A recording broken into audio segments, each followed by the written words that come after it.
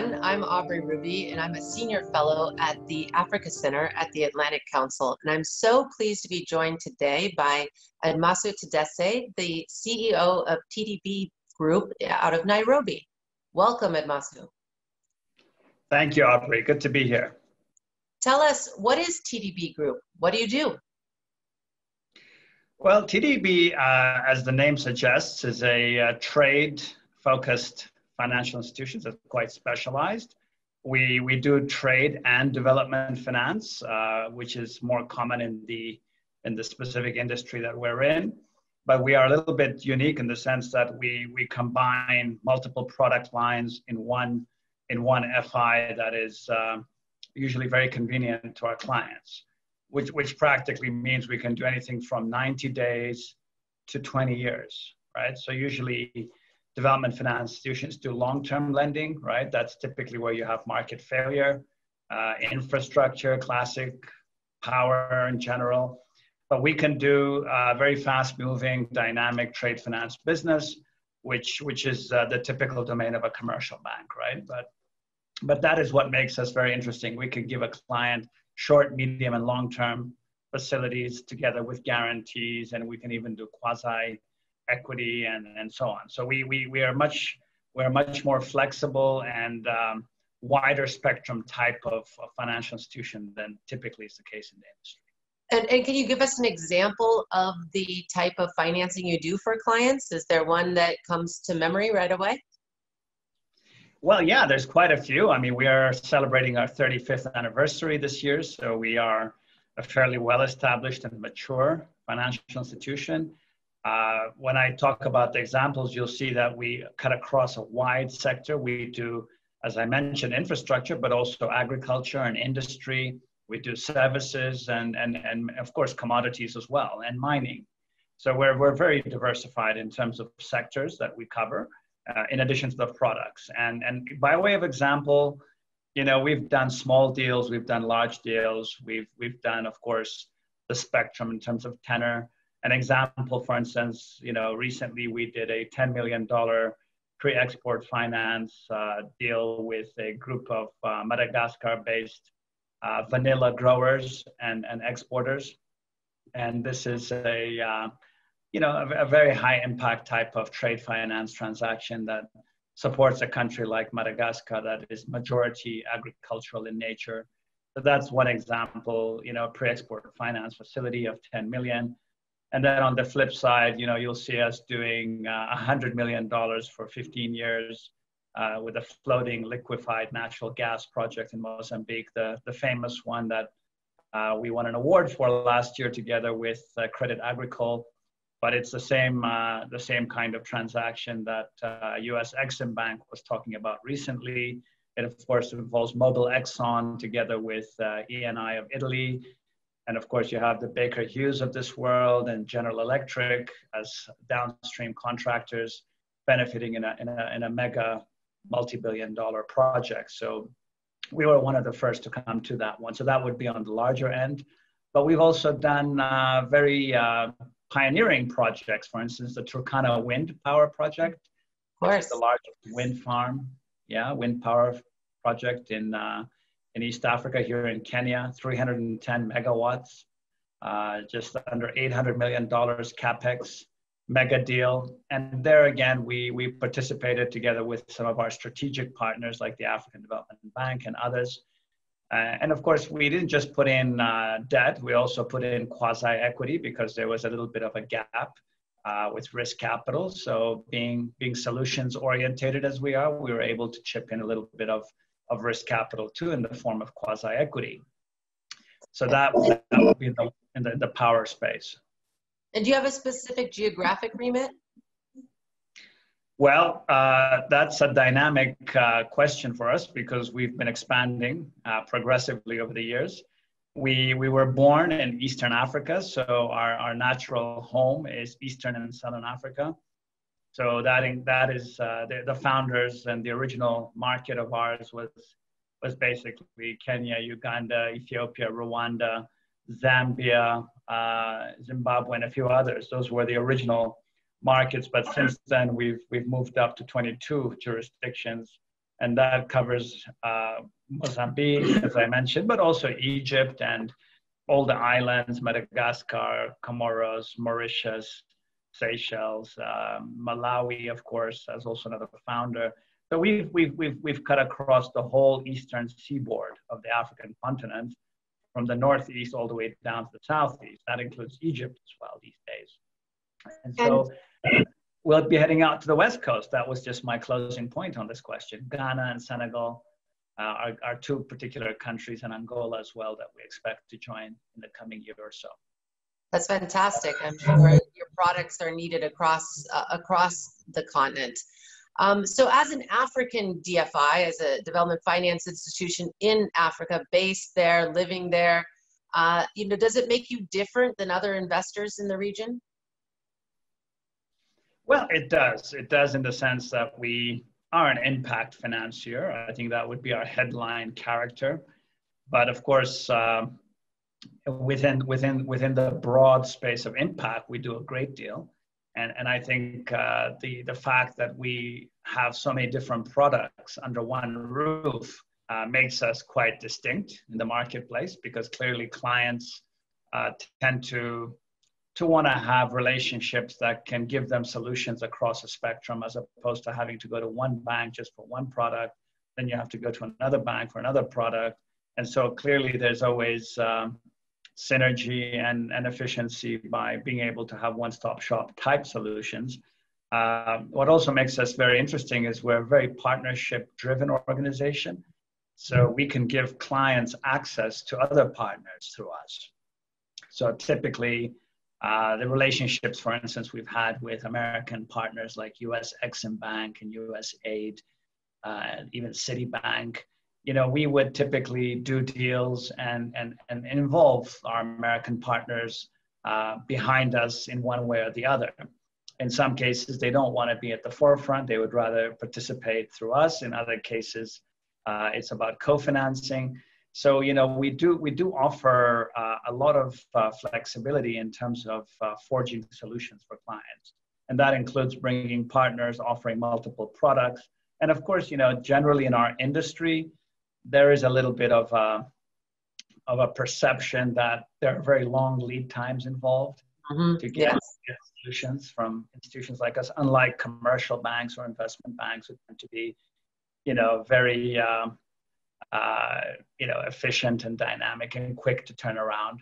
So we, we tend to, to put a lot of premium on, on turnaround time and we try very hard to, to give our clients uh, timely solutions. And we're not, we're not such a uh, bureaucratic organization. We can be, we can be also quite, uh, quite uh, quick in turnaround time. So as a trade finance bank, you see that becomes very important you can't be giving a client a 90 day facility letters of credit and it takes you one year to give the decision right because that is a criticism typically in our industry you know they're they're very good partners to have development finance institutions but they take typically extended periods of time to to give decisions and to operationalize facilities so by the by the nat- by our nature of being trade finance orientated we we do we do actually move quicker than others and because of the range of products you have, I'm sure that means a range of partners. And so you, men- you mentioned US Exim, but you know, how do you think you could work with a U.S. Development Finance Corporation, the new DFC? Uh, you know, are there some innovative ways that you could potentially work together in the future? And have you done other things with European DFIs that have been innovative? Uh, yes, uh, actually, the answer is a big yes. We we have done uh, a great deal with uh, a whole series of of development finance institutions in the OECD world. Uh, of course, we have yet to to to commence our cooperation with the DFC, which is of course uh, newish. We all know, but. Um, OPIC, of course, we had reached out to them earlier, but they didn't quite have the same scope or mandate that the the, the DFC has. So we have been uh, discussing with the DFC and we are looking forward to the possibility of, of, of, a, of a fruitful relationship with them. Uh, in Europe, of course, our footprint is very wide. We, we've worked for many years now with the Germans, the KfW Group, AFD, Agence France de Développement, the European Investment Bank, the CDC of the UK, FMO of the Netherlands, uh, the IFU of Denmark, and um, and of course a whole host of commercial banks as well: Societe Generale, Credit Suisse, uh, Barclays, and Standard Chartered, HSBC, and of course in the U.S. Uh, several commercial banks as well. So our, our footprint and our financial relationships are actually quite extensive. And, and, and we just think the, the US DFC will be uh, a very good addition uh, to that very strong set of uh, DFI partners that we do have in the OECD world. And one of the missions of the DFC is to be, you know, catalytic to, uh, you know, basically spur more investment interests out of the U.S into African markets or other lower income regions. And you know what? And we've been thinking hard, and you and I have talked about it in the past on on how to get more U.S. pension funds engaged. You know, what are some innovative ideas? People talk about blended finance, but you know, what are some ways that development finance institutions can can mobilize even billions more? I'm glad you asked that, uh, Aubrey, because we we have really been uh, pursuing uh, innovative finance as a way of, of creating growth capital for TDB, and through that, of course, enable enable the the partnerships, the the ventures to to happen across the Atlantic, but also to grow the African business space. And and and we've always believed that institutional capital uh, is is an important part of our of our capital base. Uh, five to seven years ago, we, we could count one institutional investor in our shareholding. Today, we have uh, over 16 institutional shareholders, of about six of them are pension funds. We have insurance companies and and other specialized FIs who very keen to have a proper triple bottom line relationship with us, which we do deliver very effectively. Uh, we've been paying dividends for many years to all of these institutional investors so they feel comfortable that they're getting you know the triple bottom line in terms of development impact but also getting a, healthy financial return. So we are we do have that commercial uh, character behind us because we're not funded by donor money. We don't have uh, you know taxpayer money to to offer by way of concession or grant. So we we tend to really provide proper financing and, and the value, the value addition that we provide, of course, is we give tenor and we take a little bit more risk than the others would. And of course, the turnaround time that I mentioned as well. Over and above, of course, just making the financing available. Access to finance is a huge problem in our part of the world because clearly we're we're not as capitalized as as you know OECD countries. So yeah, we uh, we see pension funds in the U.S and uh, specialized institutional investors that would have uh, a triple bottom line kind of uh, interest as being a very suitable uh, strategic partner of, of TDB. And so there's many ways to do that. It can be direct, or one could also create an SPV that maybe the Development Finance uh, Corporation of the US can play a facilitating role to help, say, pension funds like the Chicago Teacher Pensions Fund or any other kind of significant pension fund that might want to have a little bit of exposure to our part of the world just to help you know change the the risk the risk metric of their portfolio having um, uncorrelated assets as we all say. So i think i think from an allocation perspective we can offer us institutional investors a value proposition that is is uncommon because we are investment grade. Uh, and so we do provide that that sort of uh, comfort that we're where where where we're sort of um, you know several notches above the average risk profile of our region, but at the same time we do give uh, fairly attractive returns.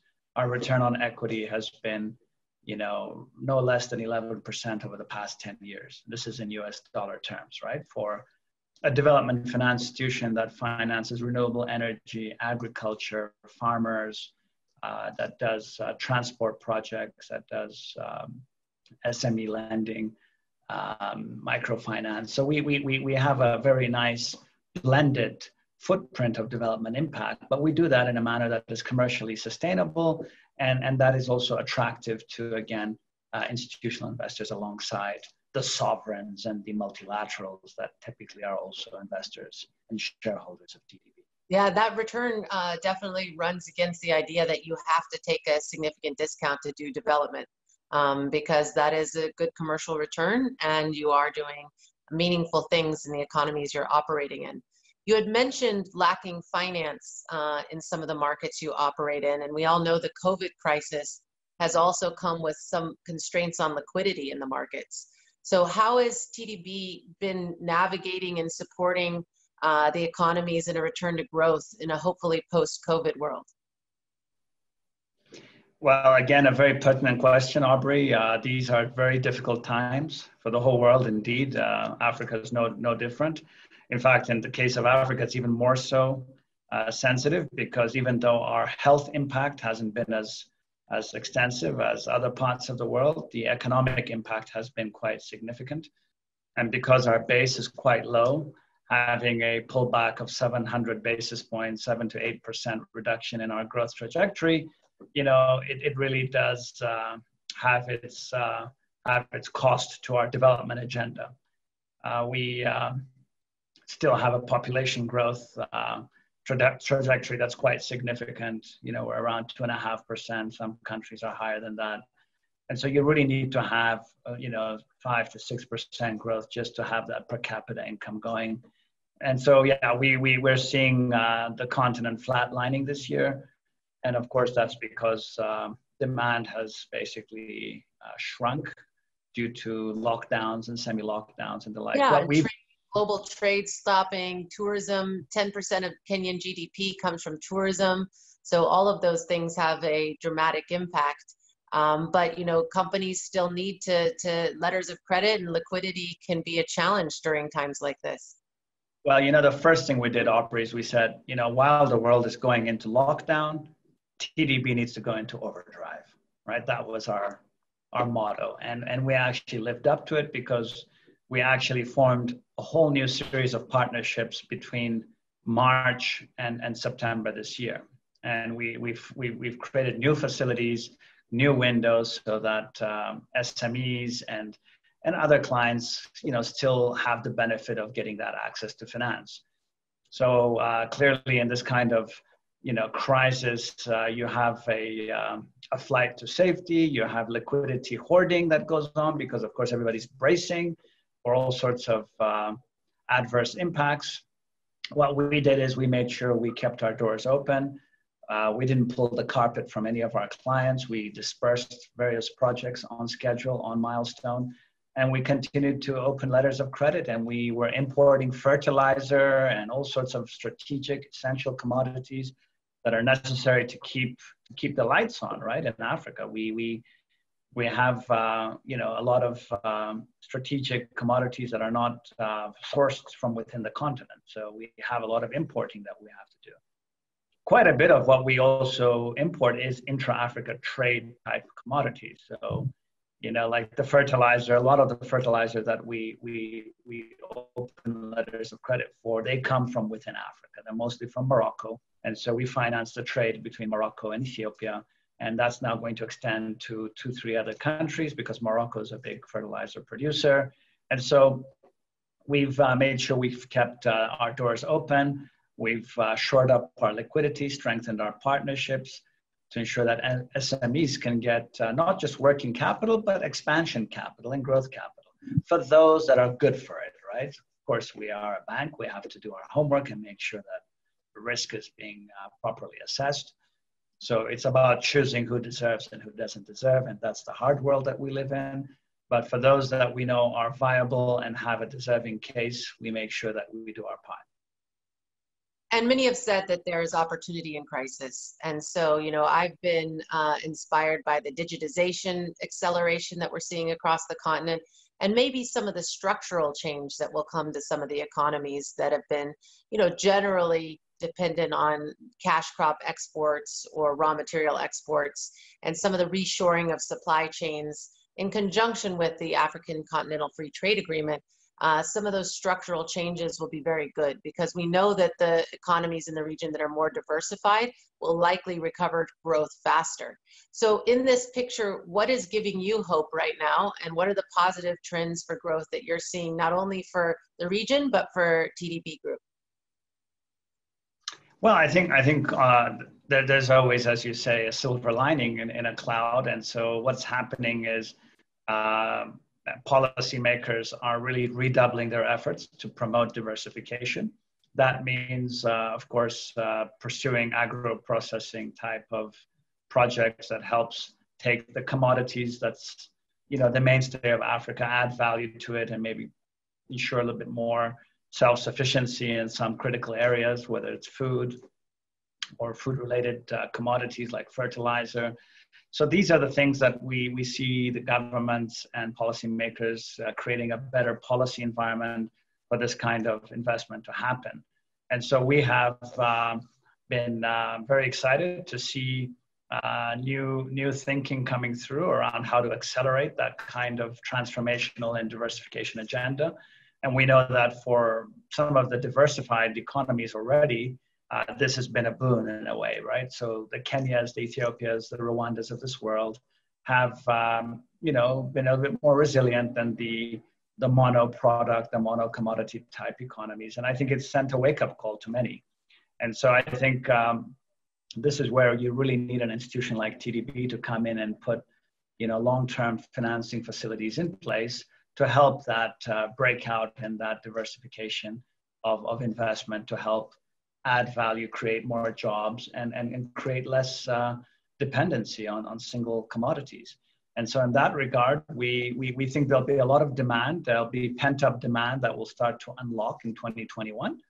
And we are ready because we've been building up a lot of facilities. We have a lot of strategic partners who are giving us long term money, which we can then use that firepower to help the deserving cases that are seemingly feasible. So, so yes, we, we see a lot of opportunity. And of course, on the technology side, we were the first bank in Africa actually to, to do a live end to end blockchain based trade finance deal, which was very important when the world locked down around us DHL was taking forever to move, not not to any fault of theirs, but clearly there was just uh, severe logistical delays going on all around us, and we felt that uh, the time had come to start scaling up on some of these innovations that we had already begun to do in 2019, right? So. So we are now uh, very comfortable in, in doing blockchain-based trade finance deals. If this is, of course, as you know, document heavy uh, business and banking, and there's a lot of movement of paper and documentation, originals, and all of that. You lose weeks just uh, waiting for documents to go back and forth. And if you can have a technology enabled solution that uh, provides that kind of capability, like blockchain does, by having distributed ledger being uh, accessible and interfaceable all at once with multiple parties all across the world, it just saves huge amount of time. I mean, for a trade finance transaction of 90 days, saving three, four weeks is one third of the, of the lifespan of the entire deal, right? So that's just one thing we've done. The other thing we've done is, of course, we've, we've deepened our partnerships in the African jurisdictions where we don't have offices. So we've, we've, we've sort of deepened our relationships with legal firms to do due diligence on our behalf, to do some more of the uh, the scoping and the, the follow-up work that typically we would send our own teams to do bits and pieces of. So we've also started to, to extend our transactional capabilities by working smartly through specialized firms that we know are good for, for some of that work. Well, that's fantastic, Admassu. I really uh, am inspired by that innovation in and of itself, especially when we've heard that private equity is basically slowed down in the region because they can't figure out how to do due diligence across distance when you can't travel. So I'm glad you're innovating there. And thank you for joining us uh, from Nairobi today. We really appreciate it. Thank you for having us. It was good.